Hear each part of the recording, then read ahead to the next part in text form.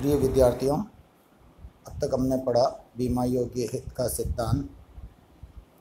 चूँकि ये प्रश्न एक विस्तृत प्रश्न के रूप में 16 नंबर तक का भी पूछा जाता है, इसीलिए हम इसका इतना डिटेल डिस्कशन कर रहे हैं। हमने अब तक देखा कि बीमा योग्य हित का सिद्धांत का कथन क्या है बीमा योग्य हित से आशय क्या है बीमा योग्य हित कब सुनिश्चित किया जाता है अलग अलग प्रकार के बीमाओं में? बीमा योग्य हित किस किस का किस किसमें होता है अलग अलग बीमाओं में? बीमा योग्य हित की उत्पत्ति के आधार क्या होते हैं? ये सब हमने देखा। अब हम लेंगे बीमा योग्य हित के सिद्धांत का महत्व। अर्थात ये सिद्धांत है तो क्या लाभ है? और अगर ये सिद्धांत नहीं होता तो क्या हानि हो सकती थी। इस चीज़ को हम अभी देखेंगे। बीमा योग्य हित के सिद्धांत का जो पहला महत्व है, वह है यह बीमा के मूल ध्येय अथवा उद्देश्य को संरक्षित करता है। देखिए, आप कोई भी सिद्धांत, जो बीमा के वैधानिक सिद्धांत बनाए गए हैं, मूलतः उनका उद्देश्य यही है कि बीमा बीमा के भाव से ही कराया जाना चाहिए। बीमा का अन्यथा कोई भी उपयोग नहीं हो पाना चाहिए। जैसे कि बीमा का मूल ध्येय है कि बीमा राहत के लिए है, आर्थिक राहत के लिए, न कि लाभ के लिए। अर्थात यदि किसी व्यक्ति ने बीमा कराया है और किसी आकस्मिक घटना के घटित होने से, अनिश्चित घटना के घटित होने से उसे हानि होती है तो उस हानि की पूर्ति का तो उसे अधिकार है। लेकिन वह बीमा कराकर लाभ अर्जित करना चाहे या किसी तरह से करना कर सकता है या कर रहा है तो यह सर्वथा वर्जित है। और कोई व्यक्ति ऐसा न कर पाए कि लाभ के लिए बीमा का प्रयोग कर ले, लाभ कमाने के उद्देश्य के लिए बीमा का प्रयोग कर ले, इसी उद्देश्य को ध्यान में रखते हुए बीमा योग्य हित के सिद्धांत को प्रतिपादित किया गया और इसे एक वैधानिक सिद्धांत का स्वरूप दिया गया। अब देखिए, यदि बीमा योग्य हित का सिद्धांत नहीं होता तो कोई भी व्यक्ति किसी के भी जीवन का और किसी की भी संपत्ति का बीमा करवाकर उसकी क्षति की दशा में अप्रत्याशित लाभ अर्जित कर सकता था। लेकिन इस सिद्धांत के कारण ऐसा संभव नहीं। से फॉर एग्ज़ाम्पल, कोई एक पर्टिकुलर दुकान आपकी नहीं है और उस दुकान के पास आपको पता है ट्रांसफार्मर लगा हुआ है, बिजली का। आप ये जानते हैं कि उस ट्रांसफार्मर में बार बार स्पार्किंग होती है और वो कभी भी आग लग सकती है वहाँ। और अगर ऐसा होता है तो उस दुकान में भी आग लगेगी और उस दुकान में आग लगने से एक निश्चित राशि जो आप आकलन करते हैं तक का नुकसान हो सकता है। वो दुकान आपकी नहीं है, उसमें रखा हुआ माल भी आपका नहीं है। लेकिन अगर आपको इजाज़त दे दी जाए कि आप उसका बीमा करा सकते हैं तो मान लीजिए हज़ार रुपये देकर कोई एक लाख रुपए का बीमा उस दुकान और उसमें रखे माल का करा लेता है। और बीमा अवधि के दौरान उसमें आग से एक लाख तक की क्षति हो जाती है। उस व्यक्ति को जो एक हज़ार के बदले एक लाख मिले, ये वैसे ही मिले जैसे जुआ में दाव लगाने से मिलते हैं। क्योंकि ना तो दुकान नष्ट होने से उसको कोई नुकसान हुआ, न ही उसमें रखे माल को नष्ट होने से उसको कोई नुकसान हुआ। अर्थात ऐसा नहीं हो पाए। इसी वजह से बीमा योग्य हित के सिद्धांत का प्रतिपादन किया गया और इसे एक वैधानिक सिद्धांत बनाया गया। अब केवल वो ही व्यक्ति अपनी संपत्ति का, जैसे उस दुकान का ही केस लें तो केवल उस दुकान का मालिक और उसमें रखे हुए उस माल का मालिक, वो ही उसका बीमा करा सकता है, अन्य कोई व्यक्ति उसका बीमा नहीं करा सकता, क्योंकि उस माल और दुकान के नष्ट होने से निकटतम क्षति उसी व्यक्ति की होगी, अन्य किसी की नहीं। दूसरा इसका महत्व है कि यह सिद्धांत बीमा की वैधता और सामाजिक उपादेयता का आधार है। देखिए, बीमा अगर है तो बीमा के कारण ही कई व्यवसायी, आम व्यक्ति जो कि बीमा कराते हैं अपनी संपत्तियों का, जीवन का, वे जीवन और संपत्तियों की क्षति की दशा में जो आर्थिक आघात उनको लगता है, उसे सहन कर पाते हैं। इसी कारण से इसकी सामाजिक उपादेयता बढ़ गई है, क्योंकि ये सामाजिक स्थिरता प्रदान करता है। और बीमा से सामाजिक स्थिरता के साथ साथ सामाजिक दायित्वों के उत्तरदायित्व की पूर्ति में भी सहायता मिलती है।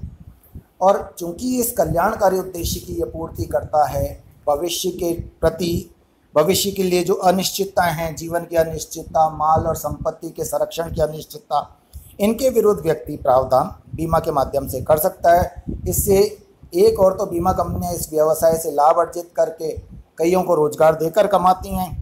और दूसरी ओर बीमित अपने आप को सुरक्षित करके अनिश्चितताओं के विरुद्ध प्रावधान करके अपने आप को सुरक्षित करते हैं, उनका कल्याण सुनिश्चित होता है। अतः बीमा दोनों ही पक्षों के, बीमाकर्ता और बीमित के आर्थिक कल्याण को सुनिश्चित करता है और दोनों के लिए लाभकारी है। इसीलिए इस सिद्धांत को वैध माना गया और बीमा को वैध क्रिया माना गया, बल्कि बीमा कराने के लिए राजकीय स्तर पर, सरकारी स्तर पर भी प्रोत्साहन दिया जाता है। जैसे आप देखते हैं कि बीमा करवाने पर करों में भी छूट दी जाती है। ये बीमा का उपादेयता के कारण ही संभव हो पाया है।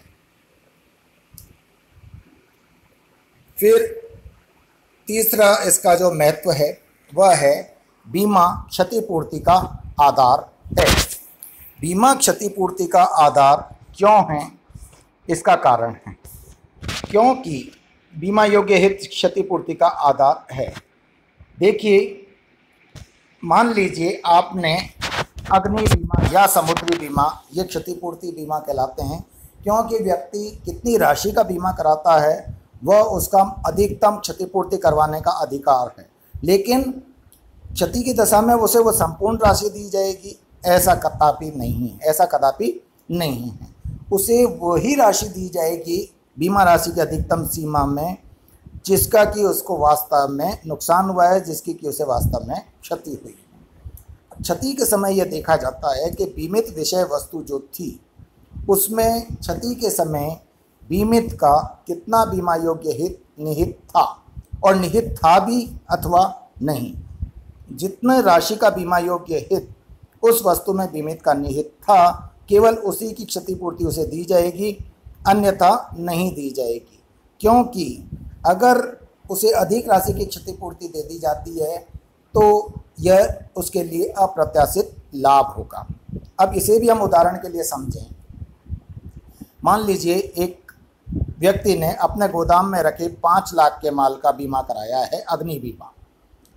बीमा अवधि में आग लग जाती है। सॉरी, बीमा, उसने पाँच लाख का बीमा कराया है। दो महीने बाद, बीमा कराने के दो महीने बाद उसने इसमें से ढाई लाख का माल बेच दिया। अब बचा ढाई लाख का। ये जो माल बेच दिया, जो क्रेता है, उसने इस माल की डिलीवरी आठ दस दिन में वाहन का व्यवस्था कर कर लेने के लिए कहा और तब तक ये माल बेचने वाले के गोडाउन में क्रेता के बिहाफ पर रखा है। अब मान लीजिए, क्रेता इस माल को ले जाता, उससे पहले पहले गोडाउन में आग लग गई। अब माल यद्यपि पाँच लाख का पूरा जल गया, लेकिन इसमें बीमित का बीमा योग्य हित कितना था? केवल ढाई लाख का, क्योंकि ढाई लाख का बीमा योग्य हित इसमें उस क्रेता का था जिसने कि माल क्रय कर लिया था, लेकिन अभी तक गोडाउन से उठाया नहीं था। तो बीमा योग्य हित व्यक्ति की वास्तविक क्षतिपूर्ति का भी आधार है, ताकि कोई भी व्यक्ति अनजाने में भी सही बीमा से लाभ अर्जित न कर सके। फिर अगला जो इसका महत्व है, वह है बीमा अनुबंध को यह जुए से पृथक करता है। क्योंकि इस सिद्धांत के अभाव में बीमा को भी लोग भाग्य अजमाइश का माध्यम बना सकते थे। आप कल्पना कीजिए, अगर बीमा योग्य हित का सिद्धांत नहीं होता तो एक व्यावसायिक अवसर का, व्यावसायिक अवसर की जो व्यक्ति खोज करते रहते हैं वो ऐसे लोगों को भी व्यवसायिक अवसर मानते जो मरणासन अवस्था में हैं। लेकिन यह केवल आप उस व्यक्ति को जो कि व्यवसायिक अवसर के रूप में देख रहा है, उसे ही पता है। से फॉर एग्जांपल एक व्यक्ति को कैंसर है। उस व्यक्ति को यह बात गोपनीय रूप से पता चली कि अन्य व्यक्ति को कैंसर है। से फॉर एग्जांपल बी को कैंसर है और ए इस बात को जानता है, यद्यपि ए बी का कुछ भी नहीं लगता। अब ए को ये पता है कि अधिकतम छः महीने साल भर में इस दुनिया से कूच कर जाएगा। ए बी का एक करोड़ रुपए का जीवन बीमा करा लेता है और प्रीमियम बढ़ देता है। अब एक साल बाद बी की डेथ हो जाती है और ए को एक करोड़ रुपया अगर मिल जाता है तो यह कदापि उचित नहीं है, क्योंकि बी के मरने से ए की क्या क्षति हुई? ना तो ए बी पर आश्रित था, न उसकी कमाई, उसके भविष्य का आधार थी। अतः यह अप्रत्याशित लाभ हो जाता है। अगर बीमा योग्य हित का सिद्धांत नहीं होता तो लोग बीमा को जुए की तरह से दाव लगाने का आधार बना लेते। किसी के भी जीवन पर और किसी की भी संपत्ति पर वे दाव लगा सकते थे।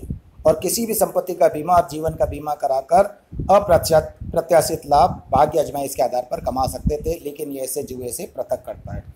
इसी तरह से जुए के भांति बीमा में, दोनों पक्षों को जुए में तो जबकि एक पक्ष हारता है, एक पक्ष जीतता है। यानी एक को अप्रत्याशित हानि होती है और एक को अप्रत्याशित लाभ। जबकि बीमा में दोनों पक्षों का कल्याण होता है और दोनों लाभकारी स्थिति में होते हैं। एक को व्यवसायिक लाभ होता है और दूसरे को आर्थिक कल्याण और आर्थिक राहत के रूप में लाभ प्राप्त होता है।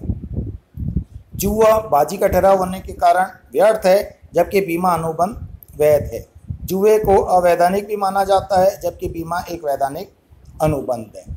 तो इस प्रकार से बीमा अनुबंध को बीमा योग्य हित का सिद्धांत जुए से पृथक करता है, क्योंकि जुए में कोई भी व्यक्ति किसी भी चीज़ पर दाव लगा सकता है, लेकिन बीमा में एक व्यक्ति केवल उसी संपत्ति अर्थात जीवन का बीमा करा सकता है, जिसमें कि उसका बीमा योग्य हित निहित है। जीवन और संपत्ति की सुरक्षा की प्रवृत्ति को प्रोत्साहन। जब कोई व्यक्ति बीमा कराता है तो बीमाकर्ता उसके समक्ष कुछ शर्तें रखता है, उन शर्तों के अधीन ही बीमा किया जाता है। जैसे कि यदि आप संपत्ति का बीमा करा रहे हैं, अग्नि बीमा तो बीमाकर्ता के अनुसार आपको निर्धारित संख्या में निर्धारित दूरी पर अग्निशमन यंत्रों को स्थापित करना पड़ेगा। आपको पानी की व्यवस्था करनी पड़ेगी, आपको आपातकालीन आग बुझाने के प्रबंध करने पड़ेंगे। आपको कंस्ट्रक्शन अगर बीमा कंपनी ने कोई सजेस्ट किया है तो उसी मटेरियल के अनुसार कंस्ट्रक्शन कराना पड़ेगा। आपको प्रवेश द्वार, निकासी द्वार उतने रखने पड़ेंगे जितना कि बीमा कंपनी ने स्पेसिफाई किया है। आपको दो सीटिंग अरेंजमेंट अगर आप ऑफ़िस है और सीटिंग अरेंजमेंट कर रहे हैं तो दो कुर्सी के बीच में दो जनों के बैठने की व्यवस्था के बीच में उतनी दूरी रखनी पड़ेगी जितना कि बीमा कंपनी ने आपको इंगित किया है। आपको संपत्ति में उतना जगह खाली छोड़नी पड़ेगी जितना कि बीमा कंपनी ने आपसे कहा है। और ये बीमा कंपनी ऐसा इसलिए कहती है ताकि आग से आपकी जोखिम कम से कम हो सके। इससे न केवल आपको फ़ायदा है कि अग्नि लगने की संभावना न्यूनतम हो जाएगी, बल्कि बीमा कंपनी को फ़ायदा है कि इन केस आग लगी जाती है तो उसका भी दायित्व न्यूनतम होगा, क्योंकि क्षति इतनी व्यापक नहीं होगी जितनी कि अन्यथा इन प्रावधानों के न रहने से होती। इसी प्रकार से आप जीवन बीमा या हेल्थ बीमा कराते हैं तो एक कंडीशन होती है कि प्रत्येक वैकल्पिक वर्ष में या कई हेल्थ इंश्योरेंस प्लान्स में ये भी होता है कि प्रति वर्ष आपका कंप्लीट हेल्थ चेकअप कराया जाएगा। आप जो प्रीमियम दे रहे हैं, उसमें उसका व्यय शामिल है। तो आपके लिए एक तरह से बीमा कराने के बाद प्रति वर्ष वह निशुल्क है। तो आप इस कारण से उस हेल्थ चेकअप को करा लेते हैं, जिससे कि आपको समय रहते, यदि कोई बीमारी इत्यादि आपके है तो आपको उसका पता चल जाता है और आप समय पर उसका इलाज करा लेते हैं। अन्यथा कोई भी व्यक्ति स्वेच्छा से संपूर्ण स्वास्थ्य परीक्षण प्रतिवर्ष या वैकल्पिक वर्ष में नहीं कराता। फिर है, अन्यों के संपत्ति एवं जीवन को खतरा नहीं, क्योंकि इनका बीमा से इनका बीमा कोई भी तीसरा व्यक्ति नहीं करा सकता। बीमा योग्य हित के सिद्धांत के कारण कोई भी व्यक्ति किसी की भी संपत्ति और जीवन का बीमा नहीं करा सकता। अगर ऐसी इजाज़त होती तो जो व्यक्ति अन्यों की संपत्ति और जीवन का बीमा कराता है, उसका इस चीज़ में हित होता है कि वो जीवन और संपत्तियाँ नष्ट हों उस जोखिम से जिसका कि उसने बीमा कराया है। और अगर यह स्वतः ही नष्ट नहीं होती तो हो सकता है जो मानवीय जोखिम है, कि वो व्यक्ति इस बात का प्रयत्न करता, अर्थात बीमित, कि ये संपत्तियों और व्यक्ति के जीवन को वो स्वयं समाप्त कर दे ताकि उसको बीमा का लाभ मिल सके। चूँकि बीमा योग्य हित के सिद्धांत के कारण एक व्यक्ति अपनी संपत्ति, जीवन इत्यादि का बीमा करा सकता है, इसलिए यह खतरा भी बीमा योग्य हित के सिद्धांत के कारण समाप्त हो गया। अब हम देखते हैं कि क्या इस सिद्धांत की कोई सीमाएँ हैं।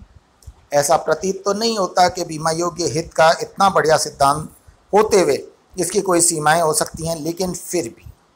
बीमा योग्य हित की प्रथम सीमा तो यह है कि यह केवल आर्थिक हित को महत्व देता है। बीमा योग्य हित का आशय आप जैसा कि जानते हैं, एक व्यक्ति का किसी संपत्ति अथवा जीवन में आर्थिक हित है। अर्थात उस संपत्ति अथवा जीवन के रहने से उसका आर्थिक कल्याण सुनिश्चित होगा और उसके समाप्त हो जाने से उसका आर्थिक कल्याण होगा। लेकिन आर्थिक हित के साथ साथ व्यक्ति के जीवन और संपत्तियों में अन्य तरह के भी हित होते हैं, जैसे धार्मिक हित, आध्यात्मिक हित, भावनात्मक हित, संवेगात्मक हित आदि। इन हितों की उपेक्षा की जाती है बीमा योग्य हित के सिद्धांत में। दूसरा, इसकी सीमा अगर हम डिस्कस करना चाहें तो यह है कि बीमा योग्य हित का सिद्धांत माता पिता का संतान के जीवन में और संतान का माता पिता के जीवन में बीमा योग्य हित नहीं मानता। जबकि वस्तुतः हम ये देखते हैं कि बुढ़ापे में माँ बाप के जब आय का कोई साधन नहीं रहता तो वो निश्चय ही संतान पर आश्रित हो जाते हैं और संतान भी जब तक रोज़गार नहीं मिल जाता माता पिता के ऊपर आश्रित रहती है। तो अगर असामयिक रूप से माता पिता में से किसी का जीवन नष्ट हो जाए, जिस पर कि वो आश्रित हैं तो संतान का आर्थिक कल्याण होगा। और वृद्धावस्था में जबकि माता पिता संतान पर आश्रित हैं, अगर संतान को कुछ हो जाए तो माता पिता का आर्थिक अकल्याण होगा। लेकिन बीमा योग्य हित इस बात को स्वीकार नहीं करता। यद्यपि इस संबंध में अब काफ़ी तर्क दिए जाने लगे हैं कि ये हित माना जाना चाहिए। तीसरी बीमा योग्य हित की सीमाएँ वैधानिक संबंधों में इसके दुरुपयोग की संभावना रहती है। कई ऐसे आपराधिक कृत्य देखे गए हैं, जिसमें कि पति पत्नी में, जब पति का चूँकि पत्नी के जीवन में बीमा योग्य हित होता है, अतः पत्नी का बड़ी राशि का बीमा कराकर स्वयं पति ने ही उसकी हत्या इसलिए करवा दी ताकि उसको बीमा का पैसा मिल सके। तो ये जो मानव जनित जोखिम है, इनकी संभावना बनी रहती है बीमा योग्य हित के सिद्धांत के कारण। लेकिन अपवादजनक कुछ स्थितियों को छोड़कर सामान्यतः बीमा योग्य व्यक्ति का सिद्धांत अत्यधिक महत्वपूर्ण सिद्धांत है।